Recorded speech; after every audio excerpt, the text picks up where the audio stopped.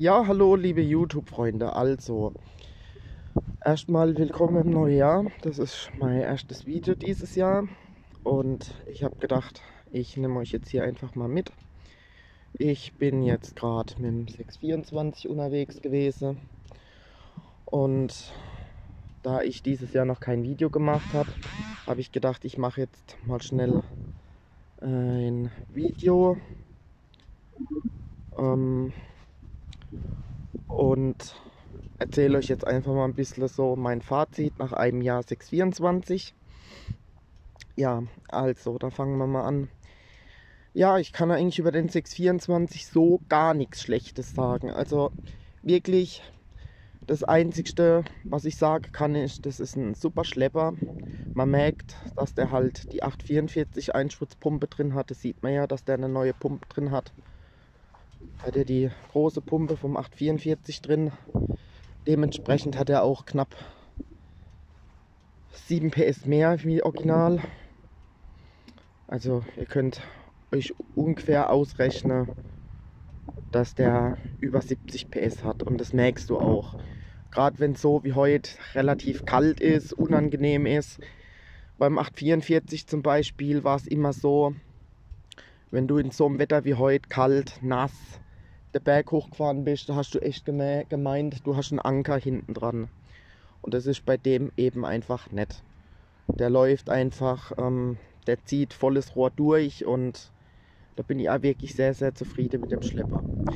Ja, ich bin jetzt hier auf einer unserer Wiesen und habe immer noch den Weghobel dran hängen, weil der Weghobel, wenn es bei uns jetzt wirklich mal schneien sollte, mache ich den Nachbarn damit die Straßen ein bisschen frei, dass die, weil wir ziemlich am Berg wohnen, dass die Nachbarn halt einfach mit ihren Autos rauskommen. Aber bisher war er nur zweimal im Einsatz dieses Jahr. Ja, was mir besonders gut gefällt, ist an dem 624 eben die Servolenkung. Wo er seine Schwachstellen hat, ist vermutlich durch diesen 2-3 Wegehahn, den ich ja umlegen muss, um entweder hinten zu kippen oder vorne die Lenkung. Weil die Lenkung ja Priorität hat, muss ich quasi diesen Hebel immer wieder umlegen. Jetzt, jetzt quasi hätte er volle Leistung hinten auf der, ähm, auf der Hydraulik zum Kippen. Und so steht er jetzt quasi einfach nur auf Servolenkung. Auf Servolenkung und normale Hydraulik. Ja, ansonsten gibt es eigentlich zu diesem Schlepper nicht groß irgendwas Negatives zu sagen. Das Einzige, was mir negativ aufgefallen ist, dass ab und zu mal die Hydraulik bockelt. Das vermutlich liegt auch an diesem 2-3 Wegehahn ich vermute, dass es schwer daran liegt, weil es ist so, wenn du ihn ähm, ausmachst, dann geht sie wieder normal. Und wenn du eine Weile gefahren bist mit ihm, machst die Hydraulik hoch, dann braucht er extrem lang, bis er sie aushebt. Das ist äh, schon extrem. Die Senkdrossel da unten, das seht ihr ja hier, das ist ja die Senkdrossel. Da, dieser Hebel, den habe ich ganz oft gedreht, also daran kann es nicht liegen. Ich vermute eher, dass das, wie gesagt, an diesem Ventil da unten liegt.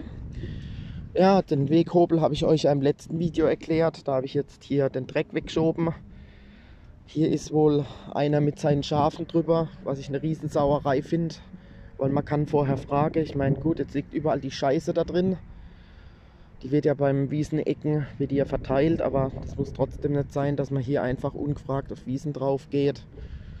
Aber naja, ja, ansonsten hoffe ich, das Video hat euch wenigstens ein klein bisschen gefallen.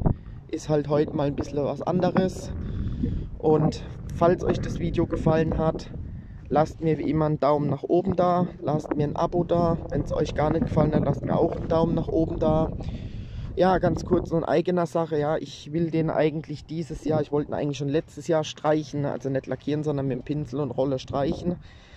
Aber irgendwie, ihr wisst ja, wie das ist, kommt immer irgendwas dazwischen und immer ist irgendwas oder war irgendwas und von daher hat das Ganze eigentlich noch Priorität und ja, aber das wird demnächst auch irgendwann passieren. Ob es dieses Jahr noch passiert, weiß ich nicht, aber spätestens nächstes Jahr ist er dann hoffentlich rot, weiß, frisch gestrichen. Ja, in diesem Sinn, liebe YouTube-Freunde, danke fürs Zuschauen.